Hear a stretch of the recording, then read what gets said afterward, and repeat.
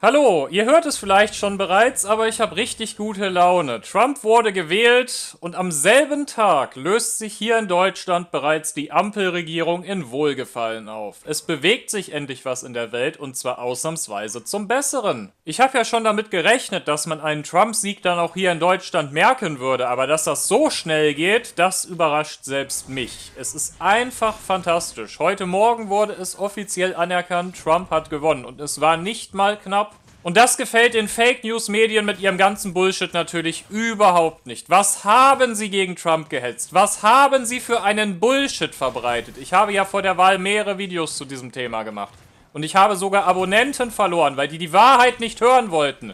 Und wo sind wir jetzt? Der Mann hat gewonnen und es war nicht mal knapp. Und was heulen die Linken und was heulen die Woken? Sie heulen alle so sehr und unsere Medien. Selbst jetzt sind sie noch am Hetzen gegen Trump und sie heulen ebenfalls. Sie heulen und heulen und ich kann mich nur darüber freuen. Die Schadenfreude, dass die endlich mit ihrer verlogenen Drecksagenda auf die Fresse gefallen sind, sie ist wirklich unbeschreiblich schön. Ich habe das auch schon vorher gesagt. So viel wird sich an der Stellung Amerikas in der Welt nicht verändern, weil die zentralen Sachen sich nicht ändern, die wirklich die Policy in Amerika mitbestimmen, die Interessengruppen beispielsweise.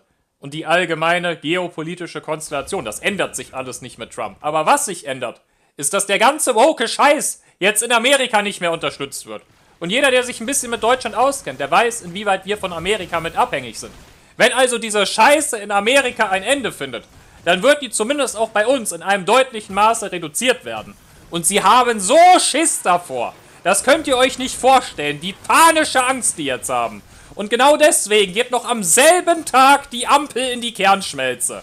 Es ist grandios. Ganz simpel zusammengefasst hat die Ampel schon seit einer ganzen Weile Streitigkeiten um den Haushalt. Die FDP ist da am Blockieren, weil die FDP diesen Haushalt nicht absegnen möchte, weil die Grünen und die SPD noch mehr Geld ausgeben wollen und dafür die Schuldenbremse aushebeln wollen, was die FDP nicht möchte. Und dabei geht es nicht nur um die deutsche Wirtschaft, dabei geht es auch um Hilfen für die Ukraine und die bei der Ampel sind ja nicht blöd. Die verstehen, was die Trump-Wahl bedeutet. Die verstehen, dass der Krieg in der Ukraine als bald zum Ende kommen wird, auf die eine oder andere Art und Weise. Entweder schafft es Trump, die Verhandlungen herbeizuführen, die er halt versprochen hat, oder er schafft es nicht. Dann macht Russland die Ukraine halt schnell platt, statt sie langsam platt zu machen, wie wir es im Moment erleben.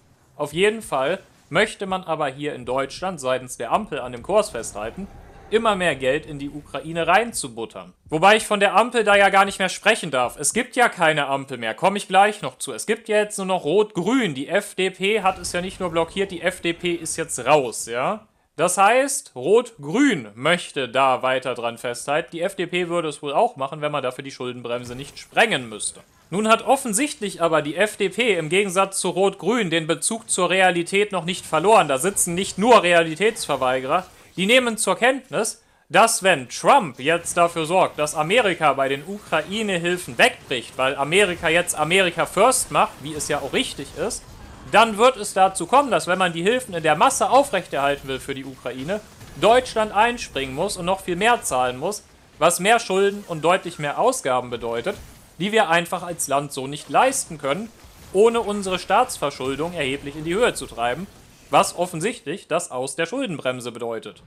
Und da ist die FDP nicht mit on board. Und das zu Recht. Das ist nämlich nicht das, wofür die FDP mal von ihren Wählern gewählt wurde, dass die diesen ganzen linksgrünen Scheiß, der da betrieben wird, mitträgt. Und deswegen ist Lindner ausnahmsweise wohl offensichtlich mal für seine Wählerschaft eingestanden und hat gesagt, nein, wenn wir das alles so nicht hinkriegen und uns da nicht einigen können und die Ampel nicht bereit ist, mal vernünftig zu handeln, mit der Ampel meint er wie gesagt den rot-grünen Teil der Ampel, dann müssen wir jetzt Neuwahlen einleiten. Und darüber war Scholz offensichtlich dann so erbost, dass er Lindner aus der Regierung schmeißt, dass Lindner sein Amt verliert. Er wird morgen entlassen. Ist für Lindner natürlich erstmal eine blöde Sache, der ist seinen Job los, aber er hat wenigstens einmal in seiner gesamten Amtszeit das Richtige getan. Und das, finde ich, sollte man an dieser Stelle auch schon mal anerkennen. Wir haben also eine Konstellation aus zwei Faktoren. Einerseits, dass die Amerikaner gewählt haben und das endlich richtig. Und andererseits, dass Lindner sich entschieden hat, endlich mal Rückgrat zu zeigen. Und damit hat er uns ein großes Geschenk gemacht. Er hat uns nämlich jetzt noch ein weiteres halbes Jahr mit der Ampel erspart, effektiv, was uns sonst noch bis zu den Wahlen in 2025 geblüht hätte. Der Ampelregierung, die wohlgemerkt in Deutschland keiner mehr will. Und das versteht ja auch ein Lindner.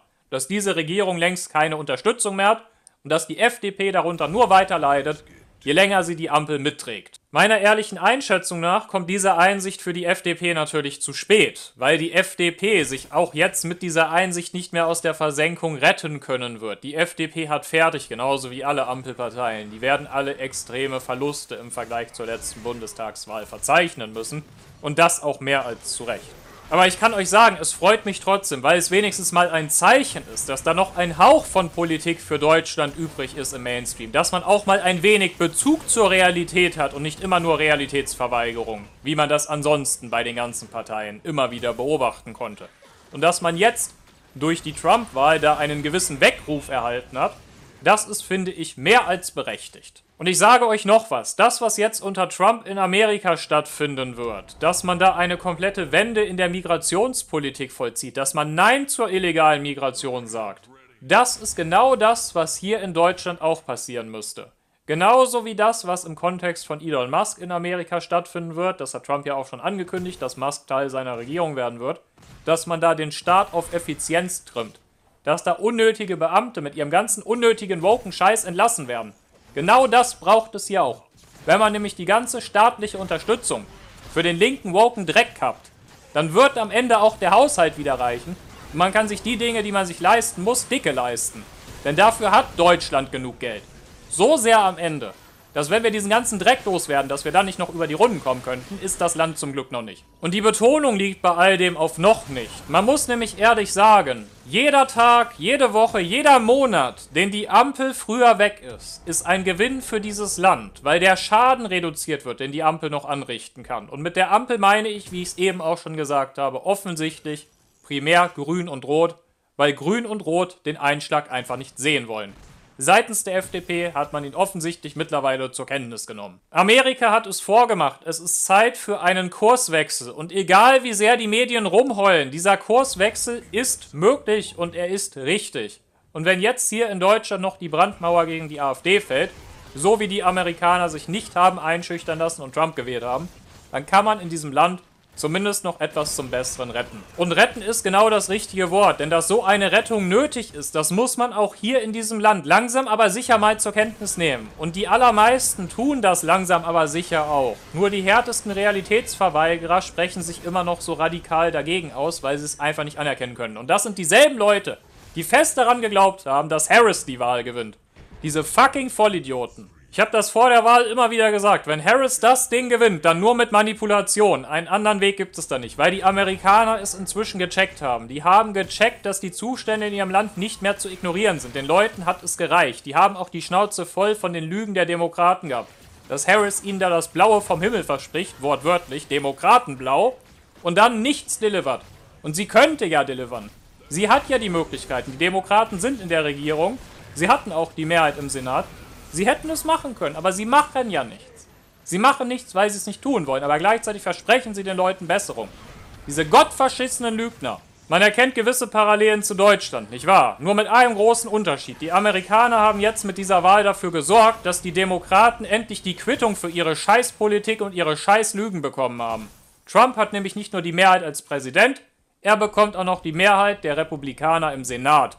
Das heißt, sie haben das Repräsentantenhaus, den Senat und die Präsidentschaft. Und damit können sie effektiv machen, was sie wollen.